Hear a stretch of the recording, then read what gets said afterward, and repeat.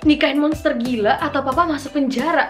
Apa-apaan ini pilihannya? Arenia, nikahinlah monster itu. Mama yakin kamu pasti bahagia. Percayalah. Mama yang bener aja. Masa nikahin monster bisa bikin aku bahagia sih? Ya nggak mau lah mendingan si Jangan jadi anak durhaka. Kalau disuruh nikah ya nikah.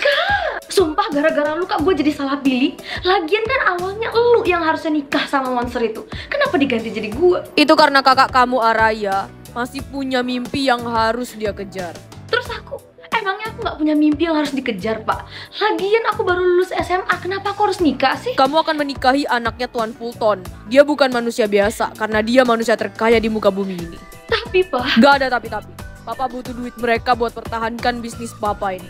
Wih, galau amat tuh muka. Kenapa lu? gue dipaksa nikahin anaknya Tuan Fulton coy. Tuh, Tuan Fulton